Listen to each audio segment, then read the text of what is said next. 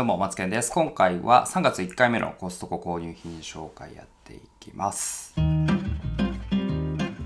早いもんで3月も1週目があっという間に終わりまして、長男が通ってるね、えー幼稚園の行事ごとも最後マラソン大会っていうのがあったんですけどそれも終わってねもういよいよ卒園式を残すのみみたいな感じで3月も中盤以降はいろんな行事が立て続けに入ってくるんでちょっとね更新頻度を落とさないように頑張っていこうかなと思います。ということで今回3月1週目に買ってきたものっていう形でね紹介していきますが概要欄に各商品の情報をまとめてますので気になるものがあれば、まあ、メモとかね取っておいて、えー次のねお買い物にお役立てください。このチャンネルではコストコで買ってきたもの毎週まとめて紹介してますのでよければチャンネル登録ぜひお願いします。それでは購入品紹介いってみましょう。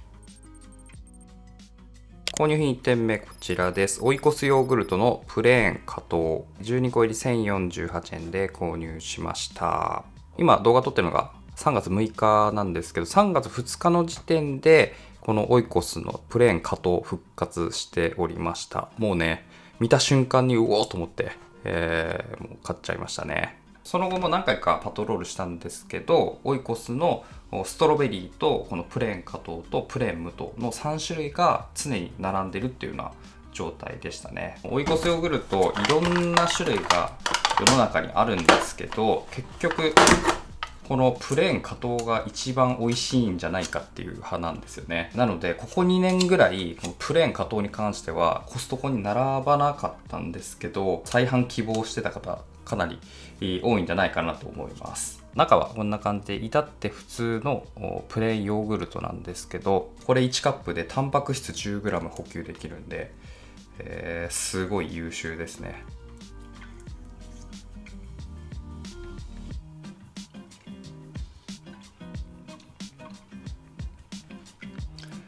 うまっ。こんな感じで水分はね少なめなんで食感がねかもったりねっとりしております。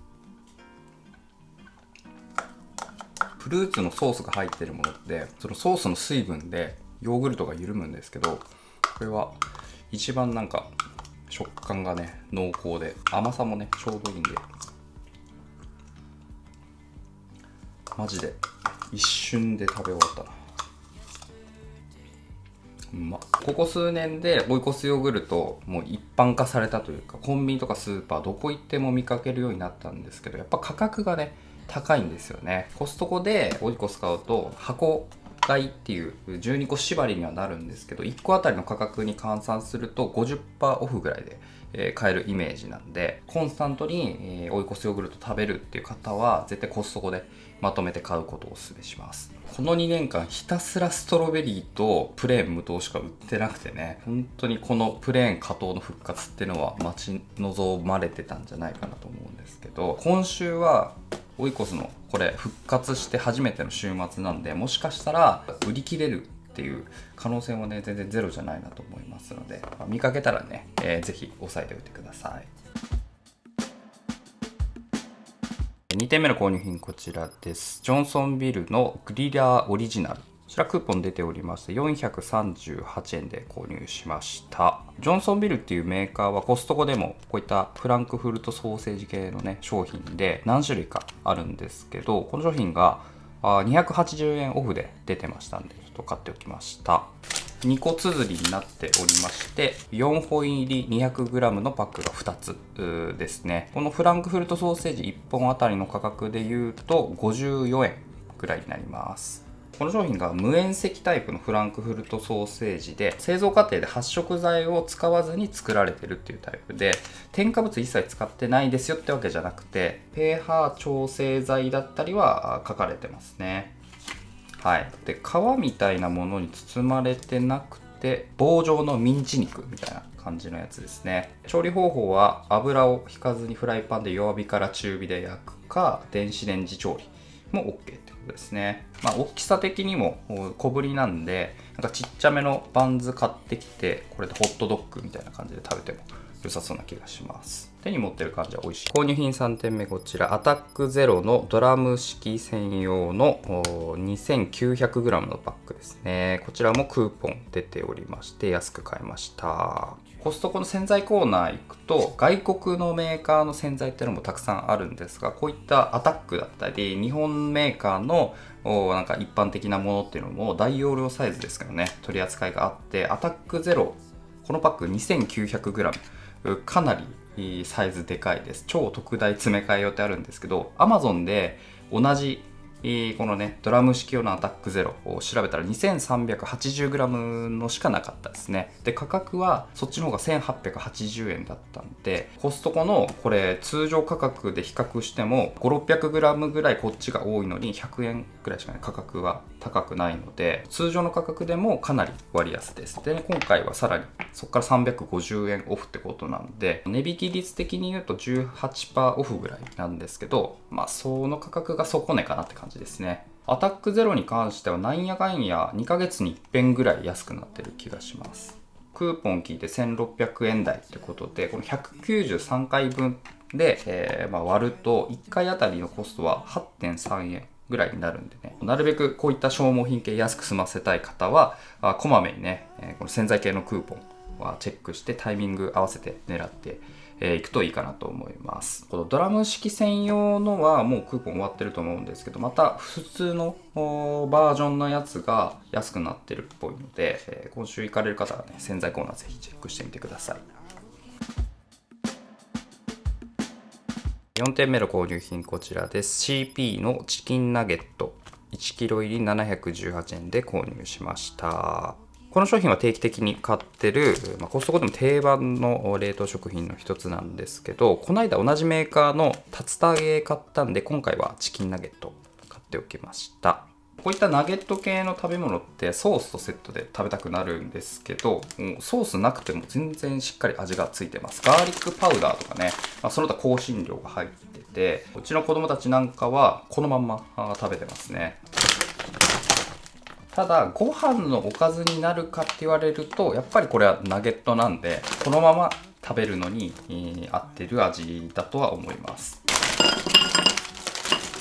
中はこんな感じで色はね結構薄めですね。形だったりサイズ感だったり食感だったりはほんとねマックのナゲットと同じような感じですね。これ1袋で 1kg 入りなんですけどもうなんやかんやすぐ食べきっちゃってます毎回。これナゲット1つで 20g 前後あります。なので、えー、1パッケージでだいたい50個は入ってる感じですかね。トースターとかオーブンとかで調理するか油で揚げるかっていう感じになるんですけど、うちではもうトースター調理一択ですね。油で揚げたことないな、そういえば。でも十分トースター調理だけでもあの衣がサクサクになって美味しく食べれますんでまだ買ったことないよって方はね是非お試しくださいこれ十何年売ってるんじゃないですか？20年ぐらい売ってるんじゃないですかね？コストコに。ずっと昔からある定番商品の一つです。5点目の購入品はこちらです。富士緑の胸肉。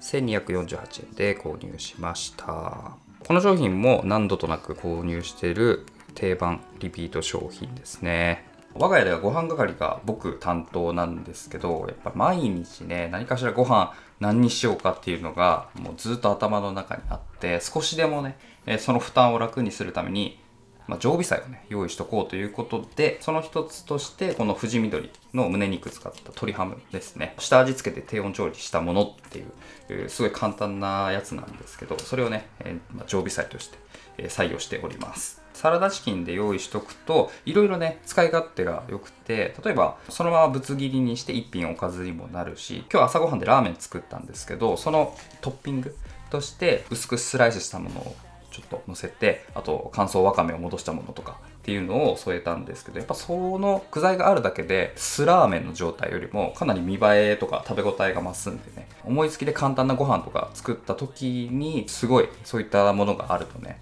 えー、重宝します。こんな感じでお好みに切って。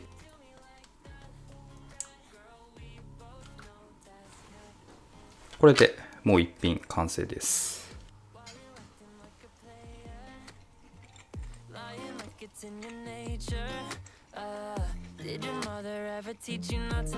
まあ、常備菜といっても低温調理器さえあればねほとんど放置でできちゃうんで。うん。ほんとこの鶏ハム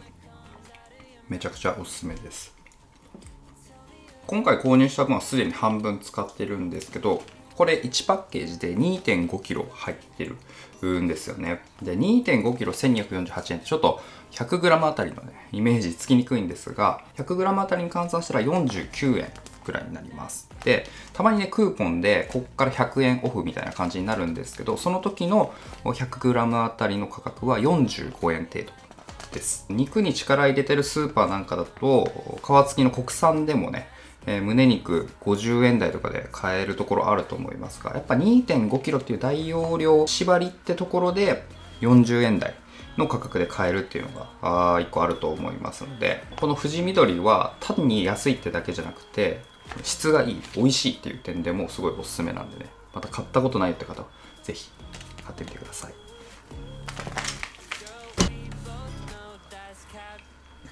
最後6点目の購入品はこちらです。デリ新商品のトリュフクロケットポルペットーネ。この商品はエピソード766で紹介したデリの新商品になります。クロケットっていうのがコロッケの元になったフランス料理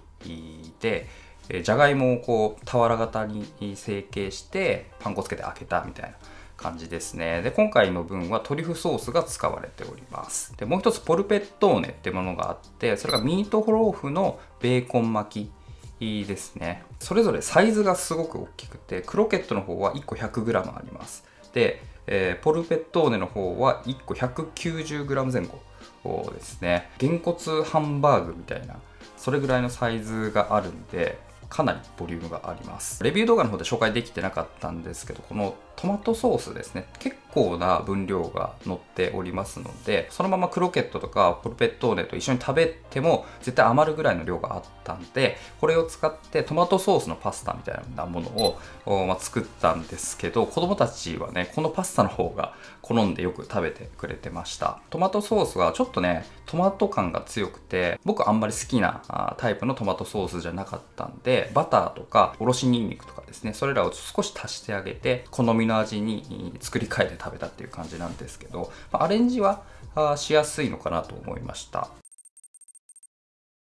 これがね空の容器になるんですけどちょっと最近重さ測ってなかったんで重さを出しておきます。はい、えー、この容器蓋付きの状態で 89g ですね。動画では蓋を取って測ってたんではい。容器の部分が 58g こっちが 31g っていう計算になりますね。なので今回購入した分は蓋取って、えー、測った状態で 1185g だったんですけど、まあ、正確に量を計算すると 1126g が完全な内容量ですね。一応この値でカロリーを出しとくと2420キロカロリー。だったことになります。食べた時のリアクションだったり、えー、どんな味がするかみたいなことはレビュー動画の方で詳しく喋っておりますのでぜひそちらの方ご覧ください。でこの容器もねバーベキューの食材をこうバーッと並べとくにはちょうどよかったりするんで一応ね洗って保管するようにしてます。1回は何かしらで使ってますね。ということで以上6点ですね。3月1回目のコストコ購入品の紹介でした。今週は3月4日から出てるクーポンでクリーニングフェアあってことでねいろいろ電解水クリーナーとか洗剤だったり掃除系のね、えー、消耗品が安くなってるのでぜひコストコ行かれる前にね一度メルマガの方を目を通しておくことをお勧めします。オキシクリームも2298円から1838円とか結構いいですね。であと週替わりのクーポンだとお米、えー、新潟県産月明かりが150円オフとかカヌレが400円オフ。あとマスカルポーネロールが100円オフになってますね。あと冷凍食品の味の素の三元豚のとんかつこれね美味しいんで、えー、買いますわ。今回はまだ買ってないですけどね。いろいろクーポン調子良さそうなの今週もありますんでぜひねチェックしておきましょう。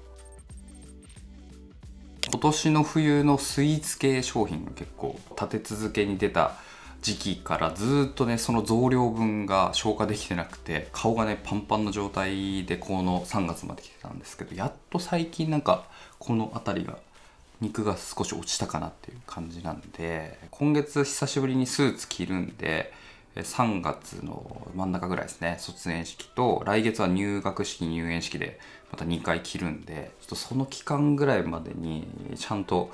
やろうかなと 思います。なので3月も購入品まとめ動画アップしますけど原料で使えそうなものだったりもうずっとひたすら鶏胸肉とかばっかり、